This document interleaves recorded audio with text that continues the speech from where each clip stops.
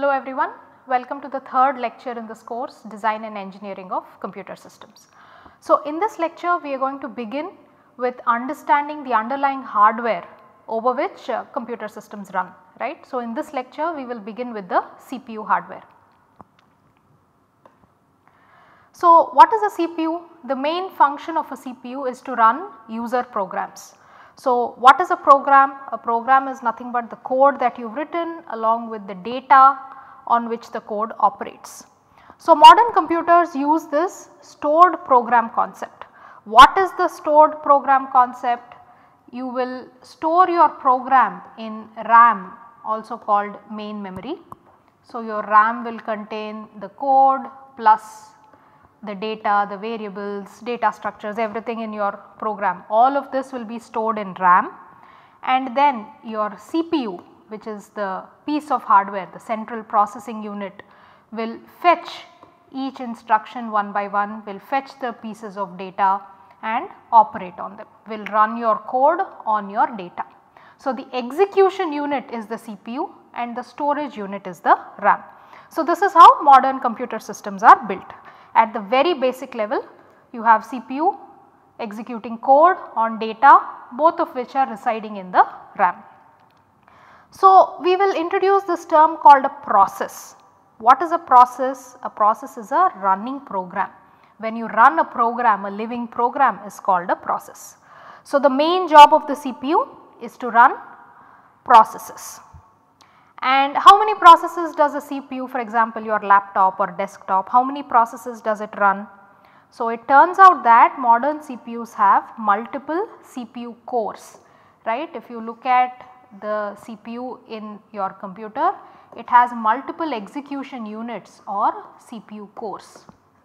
Okay. Even things like your phones have multiple CPU cores these days and each CPU core is capable of running one process at a time.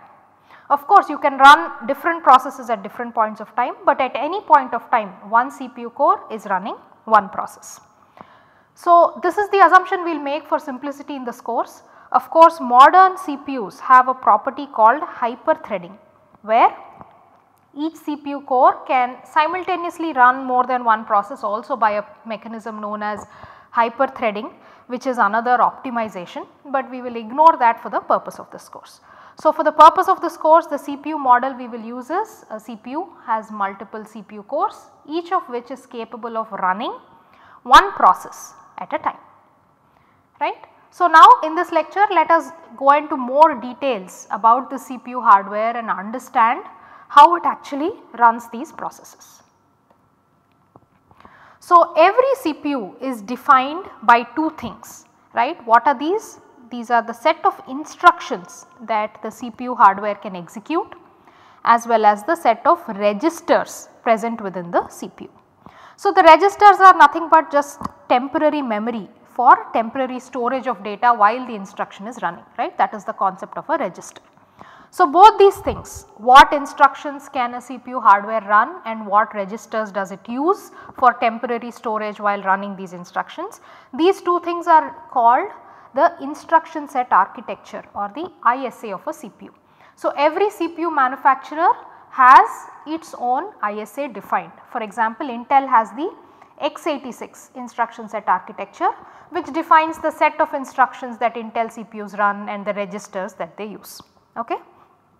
So, in this course we are not going to go into details about any one particular ISA, but in this lecture I will just give you a very high level overview of what are instructions and what are registers. So, coming back to what are registers as I said just before. So, registers are memory in the CPU present for temporary storage of data. So, there are two types of registers. Some registers are called special registers. They are there for a specific purpose in the CPU. They store specific types of data. The others are called general purpose registers. Okay. So, I will give you an example. Uh, very popular commonly discussed special register is the program counter or the PC. So, what does the program counter store? It stores the memory address of the next instruction that the CPU has to execute. So, in your RAM you have code right you have many instructions and the program counter stores the address of the next instruction, the location of the next instruction that the CPU has to execute. So, this is a special purpose register which stores a specific piece of information. There are many other special uh, registers like this in CPUs and a lot of other registers are just general purpose registers they can be used to store anything. For example, if you are adding two numbers then the numbers being added might be stored in uh, the general purpose registers like operands in instructions. Okay. So, these are the various types of registers that CPUs have. So, what is the size of these registers? It is defined by the architecture. For example, if you have you must have heard some CPUs are 32 bit, some are 64 bit. So, if you have a 32 bit uh, CPU then the register size is typically 32 bits. So, your program counter will be 32 bits in size and in this 32 bits it will store a 32 bit address of the next instruction to run. Okay. So, that is about registers. Next let us just briefly understand what are CPU instructions. So, again every CPU has a large set of instructions defined and in this course we will not go into a lot of uh, details uh, of the specific instructions, but I will just give you a overview of the common flavors of instructions that are available. So, what are the kinds of instructions that modern CPUs have? One common instruction is what is called the load instruction, right. You have RAM and you have the code and data of your program stored in RAM and the CPU has to periodically copy some content from a memory location into a CPU register. Okay. So, it will load some variable, some data from memory into CPU register. So, an instruction is there for that that is called the load instruction. Similarly, a store instruction what does it do? From a CPU register you will store the data back into RAM or main memory that is the store instruction. And you also have various instructions for arithmetic operations for example add. Once you have loaded two variables into two registers you have an instruction to add those two registers and store it into a third register right that is the add instruction you might have subtract various other logical operations comparing two registers right. So, there are many arithmetic and logical operations that a CPU can perform and you also have some other kinds of instructions like jump. So, your program counter is pointing to the next instruction to run. So, normally you will sequentially run the instructions one by one, but sometimes you might want to jump to some other part of your code right for say if there is an if else condition or something you want to jump. So, there are instructions to jump to set the PC to certain specific values to make your program counter move to different parts of the code as well right. So, these are just some common examples of CPU instructions that are found in modern CPUs. So, uh, we will in this course we will just describe a simple model of how a CPU works right every clock cycle at the hardware work gets done at the granularity of clock cycles. So, in every cycle what a CPU will do is it will fetch the next instruction that the PC is pointing to, it will decode the instruction and it will execute the instruction. So, to execute the instruction you might have to fetch more data from memory, you might have to load some data into registers. You do all of that, you execute the instruction then you update the program counter and you repeat this process again. Fetch, decode, execute and repeat. So, every clock cycle this is what the CPU does. And this program counter itself you either simply keep going to the next instruction, next instruction or you jump to specific values using say a jump instruction. So, that is how the program counter itself is updated. So, this is a very simple model of CPU, but of course modern hardware has many more uh, bells and whistles you know enhancements added to this simple model. A very common enhancement is what is called pipelining. That is suppose you know there is the fetching process, there is the decode, there is the execute and when one instruction is in the execute phase while waiting for it to complete you might get the next instruction fetch it start decoding it while this instruction is decoding you might want to start fetching the even further instruction right. So, modern CPUs run multiple instructions like this concurrently in a pipeline. This is to increase the efficiency of your hardware. And there are also many more such optimizations that modern CPUs do. They do not do the simple fetch, decode, execute uh, cycle that I have described, but this simple model is enough for us for the purpose of this course. And if you want to understand CPUs in more detail then you are uh, encouraged to take a course on computer organization or architecture. Okay, so this is about CPU instructions. Moving on, now that we know what are registers, what are instructions, let us understand what happens when you actually run a program. So, all of you must have written a program at some point of time. Suppose you have written say a C program, right. How does this program run on the CPU? First thing that happens is this C program you will compile it okay and there is a piece of software called compiler that will translate your C program into an executable. So, this executable is nothing but a sequence of instructions that the CPU can understand. So, CPU cannot understand C language. So, the compiler will translate your C code into a language that the CPU can understand. So, you first create an executable and say this executable is stored in you know for example hard disk as a file you have this a.out file that is stored in the hard disk. Now when you want to run this program what happens all the code and data in your program has to be copied into RAM. Okay, into main memory you will copy the code and data in the executable and a new process is created right every time you run a program a running program is called a process a new process is created in RAM. So, memory for this process is allocated in main memory the code and data everything is stored in RAM. So, this code and data of the process that is stored in RAM is called the memory image of a process right. You create a process, you create its memory image and then now that the code and data everything is available in the memory image of the process in RAM, the CPU can start executing the process. The program counter say points to some instruction to run next, the various registers, load data from the RAM, store data into RAM and the CPU starts executing the process.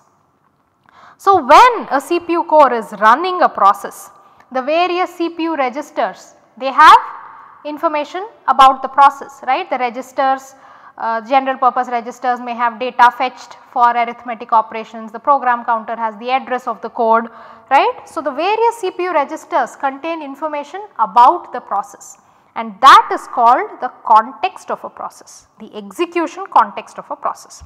So, the execution context of a process is nothing but the value, the values in the various CPU registers that are stored pertaining to the process, information about the process that is stored in the various CPU registers that is called the execution context of a process. Okay. So, in this way the process has a memory image in RAM and its execution context is there in the various CPU registers. So, now the next question comes up you might be wondering does a CPU core run just one process and wait for the process to finish and then start another process or does it simultaneously run multiple processes at the same time. So, it turns out that modern CPUs are capable of running multiple processes concurrently that is at the same time there could be multiple active processes and the way CPUs work is they will run one process for some time, stop it, switch to another process, stop it, switch to another process. In this way concurrently multiple processes will keep running so that you as the user you do not really realize that a process is being stopped and restarted and all of that right. This is managed efficiently at the hardware level. So, how do we do concurrent execution? So, if you run a process for some time and stop it, it was in the middle of some calculation, it loaded some values into registers and you suddenly stop it, then what happens, right? You cannot just leave a process midway like that. So, for correct concurrent execution, what we need is whenever we pause a process, we should be able to save its context that is save all the values in the CPU registers that the process has somewhere in memory so, where in memory will we store this? We will come to this a little bit later. But for now I want you to understand that when you pause a process you have to save its context. And when you restart a process once again, you know you pause process P1, you jump to some other process, you run it for some time and then when you want to come back to process P1 again you will have to restore the context of P1. Okay. So, you run a process for some time. So, this is a process P1 you are running it for some time then after some time you will say you want to pause P1 then you will save the context of P1 somewhere all the values of the CPU registers which instruction did it stop at what are the various values in the general purpose registers all of this you will store somewhere then you will switch to P2 and then after running P2 for some time you will restore the context of P1 you will copy back all those values into CPU registers once again and then you will go back to running P1 again right. In this way processes are run concurrently on the CPU. So, the saving and restoring context ensures that a process by itself sees no disruption or sees no weird behavior when the program is run. And who does all of this saving context, restoring context, all of this is taken care of by the operating system. So, this operating system takes care of switching across multiple processes seamlessly so that you as the user you do not realize this is happening. So, we will study how the operating system does this in a lot of detail later on. So, the, the common term used for this is the OS virtualizes the CPU across multiple processes. It gives multiple processes the illusion that they are exclusively running on the CPU even though in the background the operating system is pausing a process, saving its context, restoring its context later on. All of this is being done in the background by the operating system. So, moving on what are some of the other things that the CPU does? The other thing in addition to running user programs the CPU also has to handle external events right it is not just user program that is running there are other pieces of hardware connected to the computer like a mouse or a keyboard or a hard disk or a network card and all of these devices might sometime need some attention of the CPU right. For example, if you have clicked something on the mouse the CPU has to handle that event right. There are all of these external events that keep happening and these are called interrupts and the CPU also has to give some attention, give some time to handling these external events or interrupts and these are typically from IO devices. So, how are interrupts handled? Suppose the CPU is running a process P1 and an interrupt occurs right and the CPU has to do some work to handle the interrupt. Again we use the same principle we have to save the context of P1 and then handle the interrupt whatever work is needed to handle the interrupt. For example, if it is a keyboard interrupt you might have to read what the character is from the keyboard into the computer. So, you will save the context of P1, you will pause this process, save its context, handle the interrupt and then restore the context again and go back to process P1, right. So, the same logic of saving and restoring context is used even when handling interrupts. So, again all of this interrupt handling is also part of the operating system code right. So, for example you as a user program you may not know how to handle a keyboard interrupt or how to read characters from a keyboard into your program all of this you may not know. So, this is done by the operating system. What the CPU does is whenever there is an interrupt it will save the context of a process and hand over control to the operating system which has code for handling various interrupts and then once this interrupt is handled the CPU will go back to running the user program right. So, this is how interrupts are handled. We will of course study this in more detail once we study operating systems in this course. So, the next important concept that modern CPUs have is that of isolation. So, you might be wondering if there are so many programs running at the same time on a computer is it safe? Can it so happen that one program or one process can mess up with some other process? Can, we, can it say overwrite the memory of another process? Can it access the files, delete the files of another process, do something bad? Can all of this happen? So, that is a very valid question if you have that in your mind and it turns out that modern CPUs do not allow such things. Modern CPUs provide mechanisms for isolation that is even if you have multiple processes P1, P2, Pn all of them running on the same underlying hardware, these are all isolated from each other. One process cannot in any way disturb the execution of another process. So, how is this isolation done? It is done by the following mechanism. So, CPU instructions are of two types. They are some privileged instructions and unprivileged instructions. So, what is a privileged instruction? Is an instruction that accesses any sensitive information. For example, if you want to access the hardware, access memory, access files stored on the hard disk. All of these instructions that do these operations are all sensitive instructions and regular instructions that add values into registers for example they are somewhat harmless they are all unprivileged instructions. So, modern CPUs what they do is they have multiple modes of operation you know different states in which they run. These are also called rings in x86 CPUs. There will be a low privilege ring which is the ring 3 in Intel CPUs which only allows unprivileged instructions to run.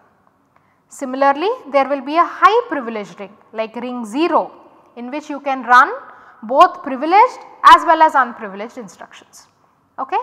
So, you have a low privilege level where you have very little access and you have a high privilege level where you have lots of access with privileged instructions access to hardware and so on.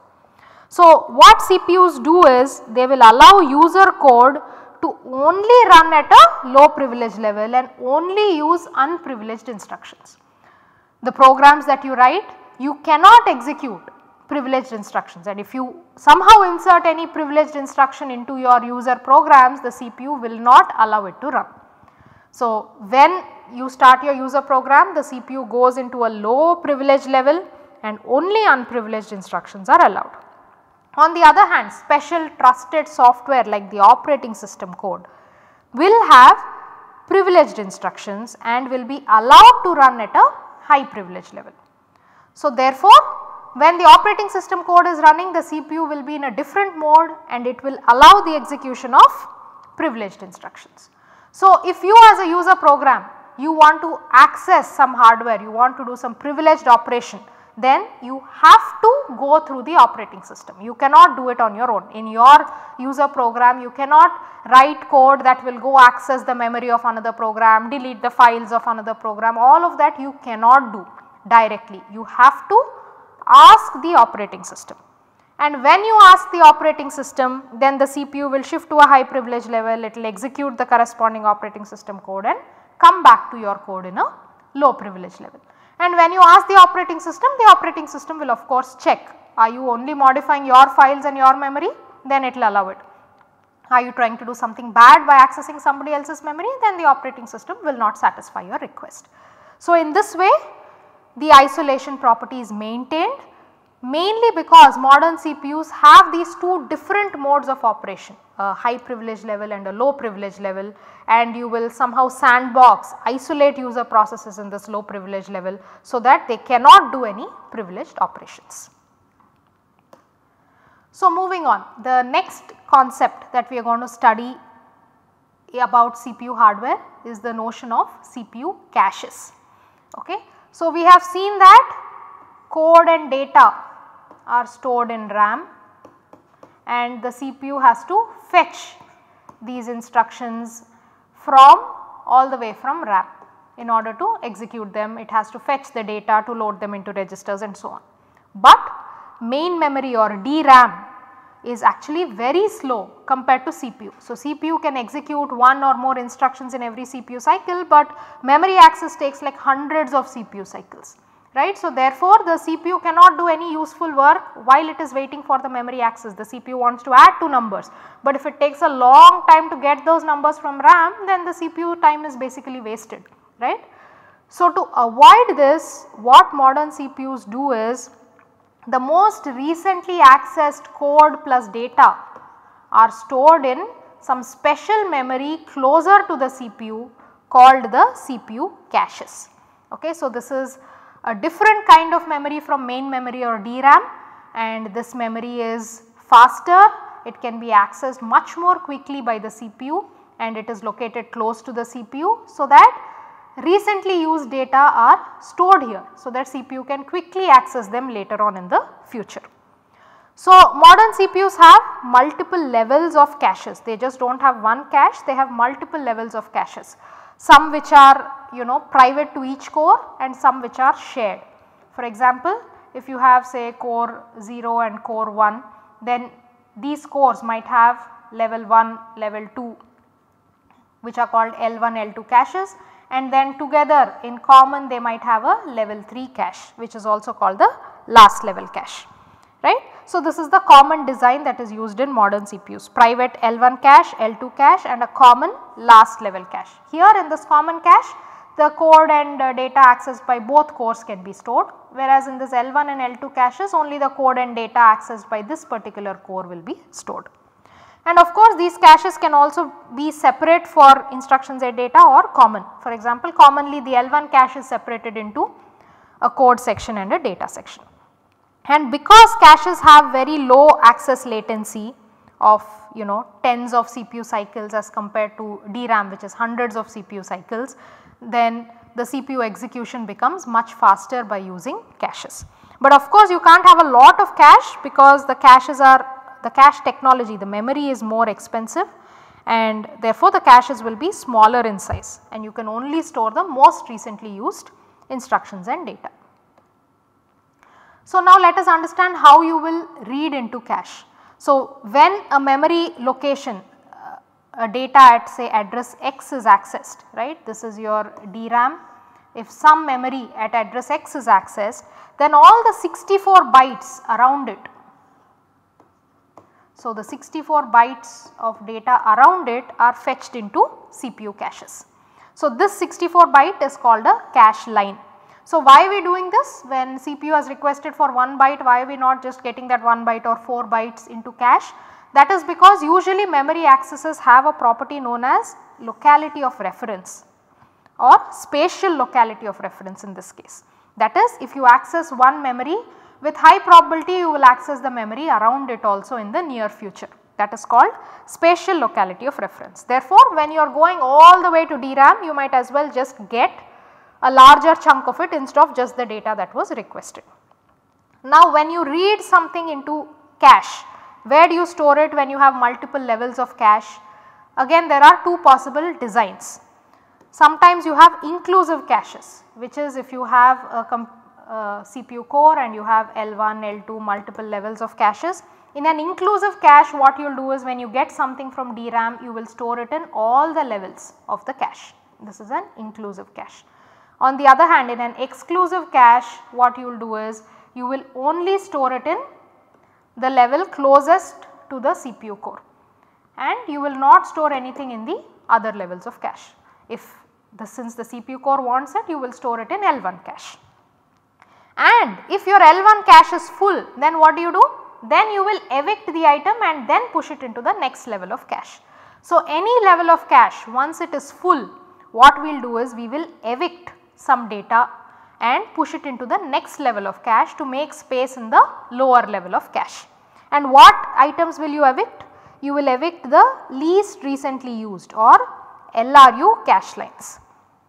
Why the least recently used data? Because the most recently used data with a high probability you will access it again.